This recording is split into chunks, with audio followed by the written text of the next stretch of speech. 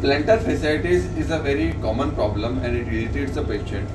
Uh, some of the cases are intractable which are not uh, addressed adequately with conservative treatment. You can consider giving a little bit of injections like steroids or PRP to that, but some of the patients do not respond well to conservative treatment and injections. And for that, the very good treatment is an endoscopic plantar release.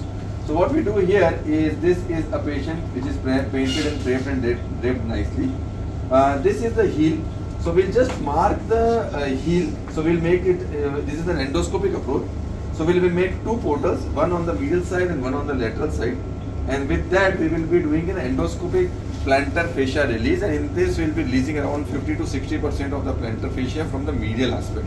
And this will give, right, give relief to the patient on both the, both the sides. The important instruments here you should have is one is the Wissinger rod which will be used to make the connection between the two portals. Then you should have half pipes like this. These are the half pipe you use to pass the your instruments through the uh, the other thing you need to have is a swab stick which will be used to clean off the fat which is there. So initially we will start without uh, fluid and then if needed we'll start the fluid. So it's a the procedure is called as an endoscopic plantar fascia release. Thank you.